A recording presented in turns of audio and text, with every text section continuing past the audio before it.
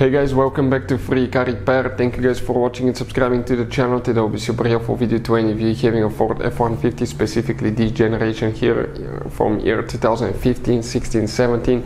If you have a problem where the side mirrors do not work guys, we'll explain which fuse and relays you need to check. Two relays, one fuse. We will explain where they're located in two different fuse boxes, how to find them, where to buy cheap fuses, relays and parts from. That way you do not waste your money and why it's important to test fuses and relays.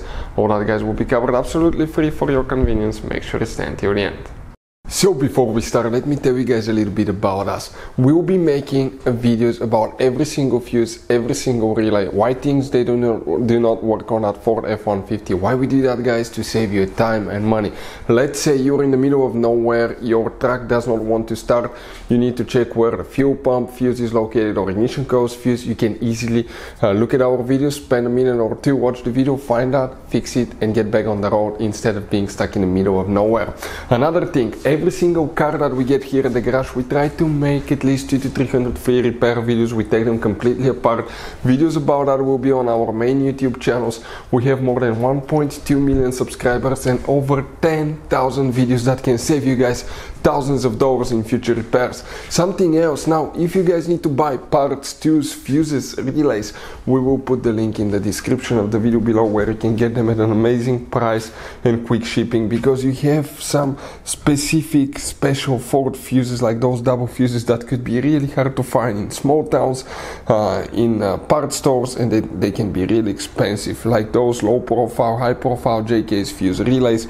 All that we'll put the link in the description of the video below. Check it out. So let's start on it now. So let's explain what we have here specifically guys. We're going to explain and demonstrate on 2016 Ford F-150. You guys have by the way, okay, two different fuse boxes and we'll be working in, uh, let me see now, we'll be working actually in just one of them today, okay? And that fuse box guys, okay, is located under the hood, open the hood right here if you see behind the car battery you have a fuse box cover open that cover and you will see a fuse box layout that will look just like uh, this one right here. Before we guys continue let's explain quickly why it's important to test fuses and relays so let me explain why it's super important guys to test fuses. Fuses not often you can see if they're burnt or they're good. Sometimes they may seem perfectly fine, you think it's a good fuse, you put it back in and you end up uh, spending money and time on parts and problems that uh, do not exist guys when all you had to do test your fuse, find out it's bad, replace it, fix your problem. So we will have a video how to test a fuse, okay different kinds of fuses and how to test relays guys. We're going to put the link in the description of the video below specifically to that video. Please check it out. So here guys, we're going to find one fuse that we need, okay, specifically for the mirrors that we will need to check and one relay. So here things get a little bit, okay, a little bit tricky. If you come in that fuse panel right here guys, okay, you will have one fuse that's kind of a little bit hidden by the relay. That's fuse number 63. That's the fuse for the mirrors that you need to check.